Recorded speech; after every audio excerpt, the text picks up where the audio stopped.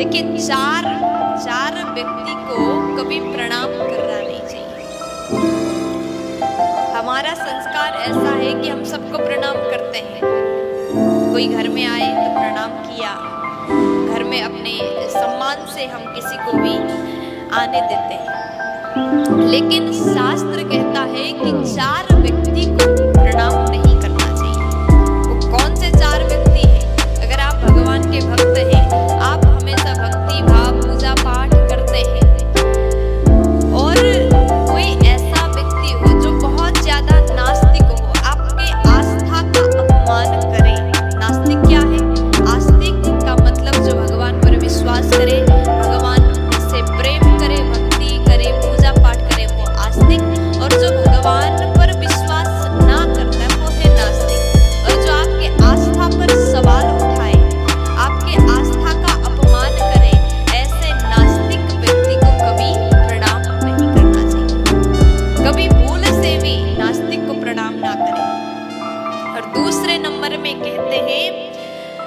व्यक्ति मर्यादित ना हो। आपको समझ में आ रहा है? जो व्यक्ति अमर्यादित हो, धर्म मर्यादा को नहीं जानता हो धर्म क्या है, मर्यादा क्या है, किसी का भी अपमान कर दिया, अपने से बड़ों का अपमान कर दिया, ऐसे व्यक्ति को भी प्रणाम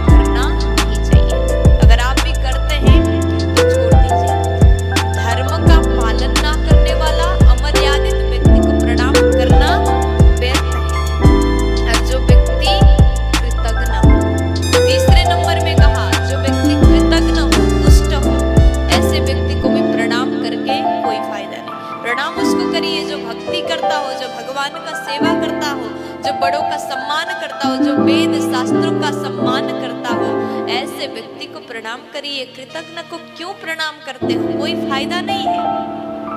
अभी सुन रहे हैं। आप जो सुन रहे हैं, उसको फॉलो भी करिए। केवल सुनने के लिए नहीं बताया, सुन करके इसको अपने जीवन में उतारने के लिए उपदेश होता है। ज्ञान की बातें अगर लोग फॉलो करें तो अच्छा लगता है। केवल सुनने के लिए ज्ञान नहीं, अपने जीवन में धारण करने के लिए ज्ञान होता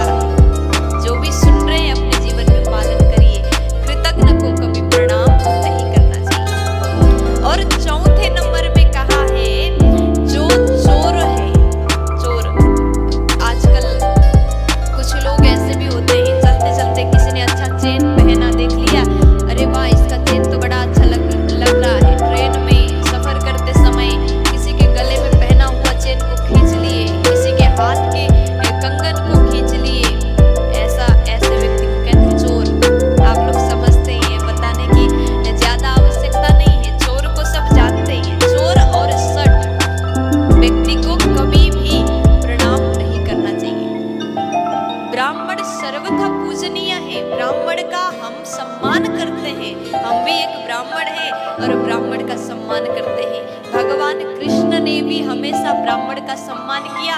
भगवान राम ने भी ब्राह्मण को पूजा। भगवान ने भी ब्राह्मण का सम्मान किया। ब्राह्मण देव हमेशा पूजनीय होते हैं। अगर कोई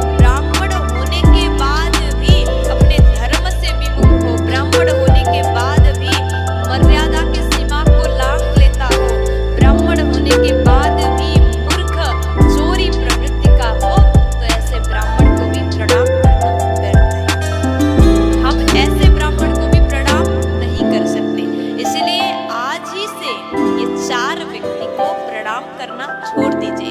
प्रणाम उसको करिए, जो सदाचार में रहे, जो निष्ठावान हो, जो आस्थावान हो, ऐसे व्यक्ति को प्रणाम करें। इसलिए ये चार नियम का आज से पालन करिएगा प्यार